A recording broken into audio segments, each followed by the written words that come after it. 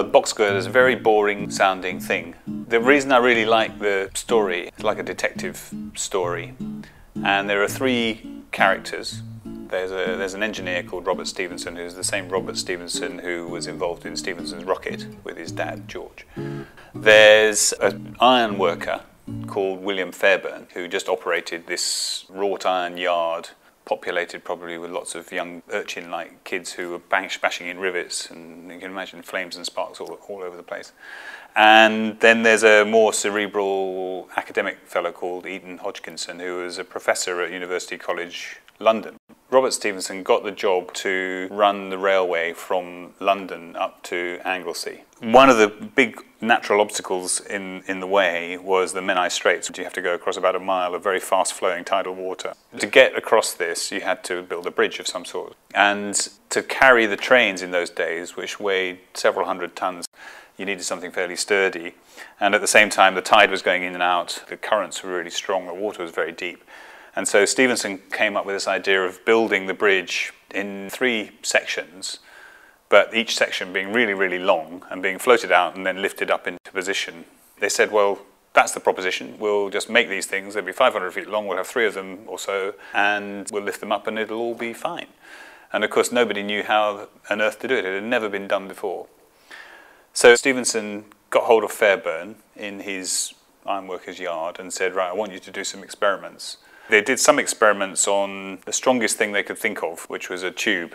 And they did quite big experiments, maybe 20 foot long pieces. And they just did loads and loads and loads of these things. They loaded them up with as much as they could hang from the middle.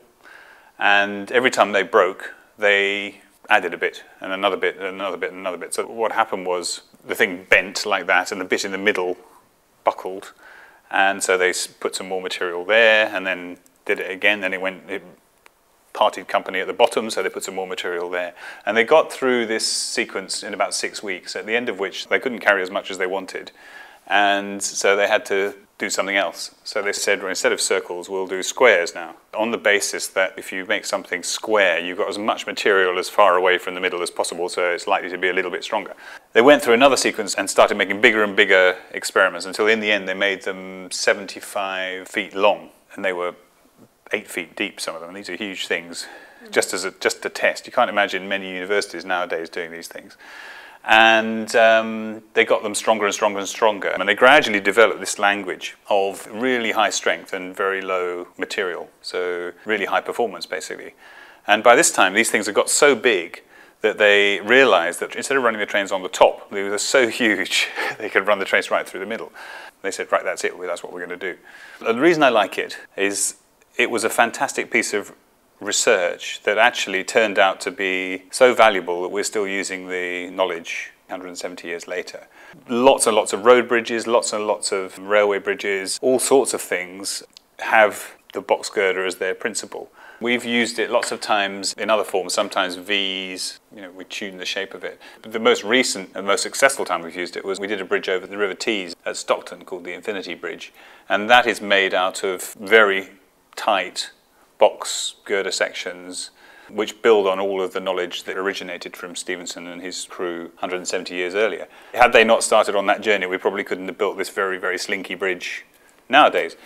When you see these things standing there, they look as if they've always been there. And it's, you forget how much groundbreaking thinking has to go into getting them there in the first place. So I think the first thing is to learn the value of research. It's something which is not to be sniffed at, not to be thought of as being an extravagance, not to be th thought of something just for pharmaceutical companies. It's really central to moving human knowledge forward. And the box girder bridge is, is such a fantastic invention, big scale, and it's affected so many people and it's opened up so many communication routes that it just becomes part of the fabric that we all take for granted. But actually, some, there were some really bright mm. people involved in putting it together in the first place.